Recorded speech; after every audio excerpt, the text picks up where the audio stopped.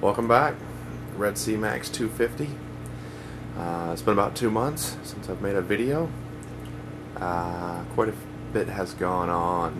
Uh, I came down with some uh, flatworms, I went ahead and treated them, and the only bad thing about it is I lost my copper banded butterfly fish.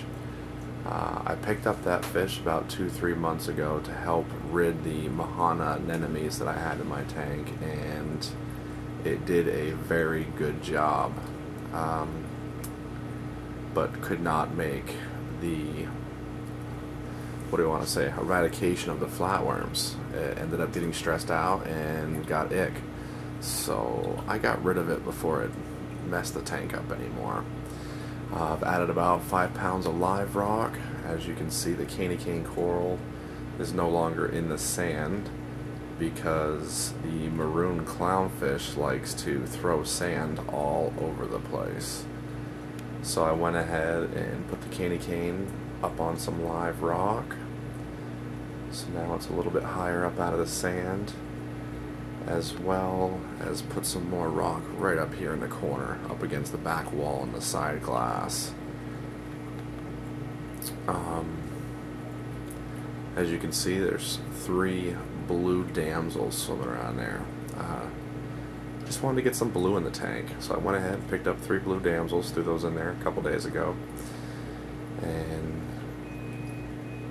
right there making this video so New York Stilo can check them out there is a single snowflake clown right there.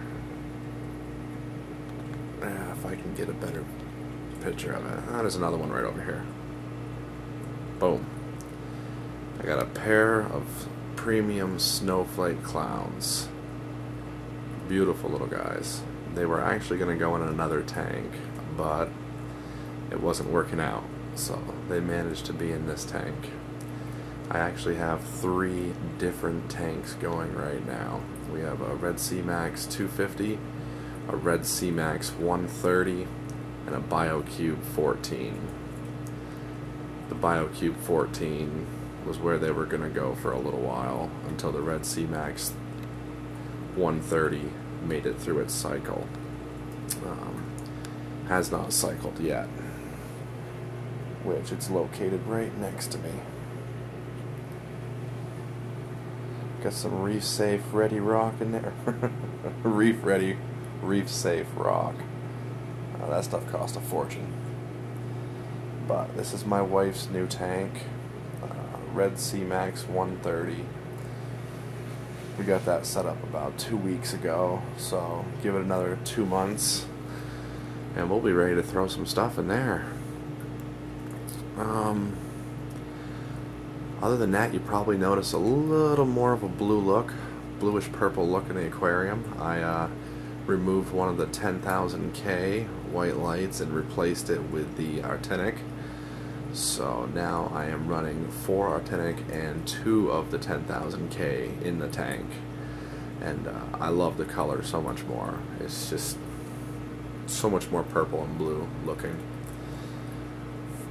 Um, as for corals, you know me. I uh, gotta buy a million different damn things all the time. I have a new green tip frog spawn right here. I let's see what else. Right up here, looks like we I forget what it is. I don't think we're gonna get a good picture of it. There we go is something. It's blue.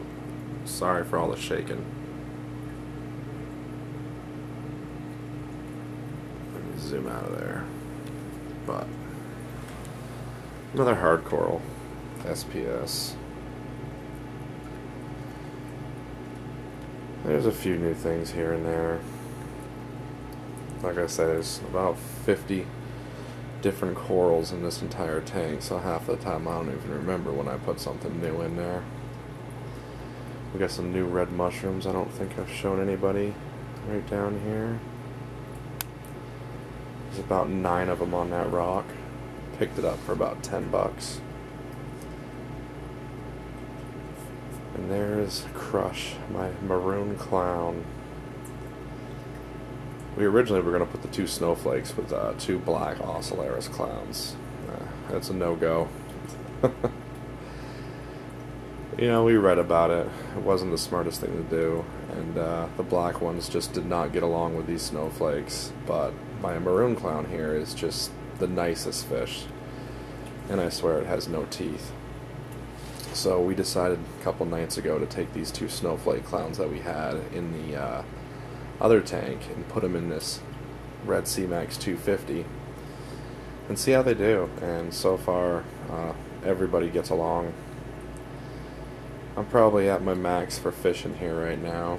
I don't think I'm going to get any more. I think there's about 10 of them in there now. But I didn't think I'd fill it up this quick. Sure enough, I have.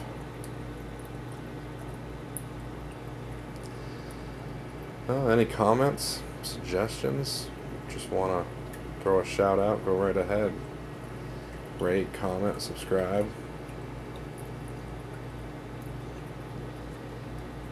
I'll run over in the other room, let you guys take a look at the uh, BioCube 14. I don't think I've ever got that on video yet.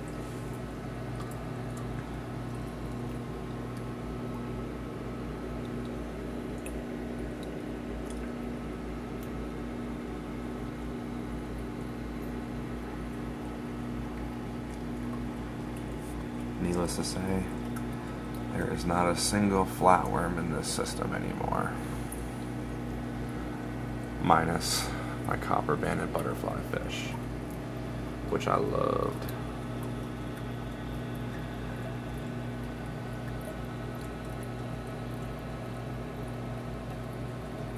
Alright, let's go look at that 14.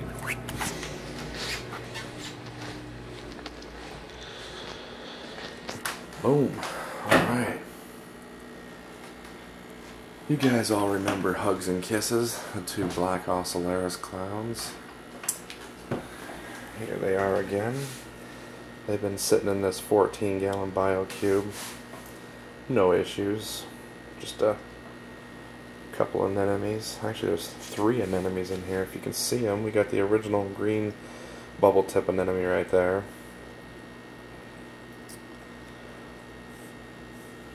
Which was originally in the Red Sea Max, and the 28 gallon JBJ. And we have another anemone right there, another bubble tip. And then we have a Pacific long tentacle anemone right there in the back, basically on the overflow.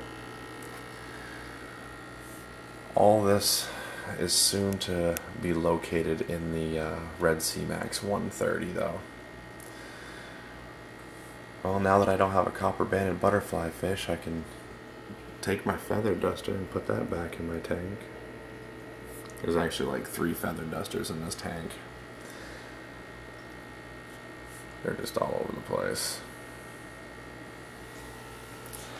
This tank will soon become my frag tank. I'm just gonna throw some Zoids in here and see what I can do. Sell some frags back to my local fish store for corals. Well, there's the BioCube 14 that we've been running for about three months now. Just to keep the uh, clowns and basically the anemones out of my Red Sea Max because they destroy corals too much. Let's go check out that third tank real quick again.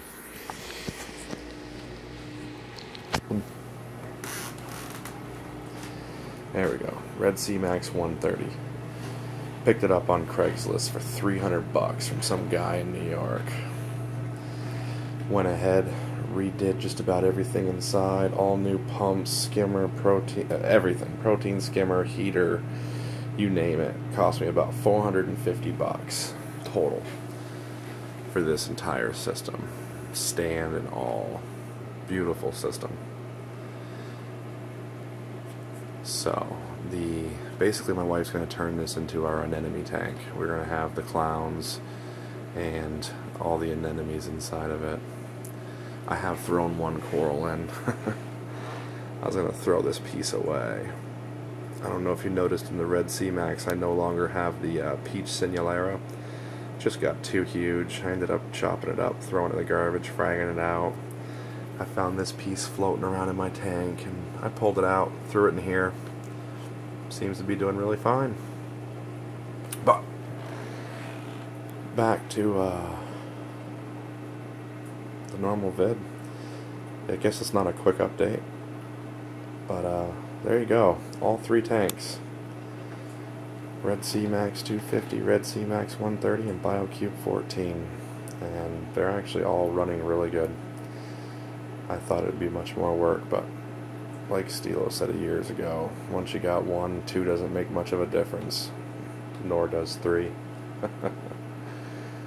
hey, everybody out there, have yourself a wonderful day. Peace.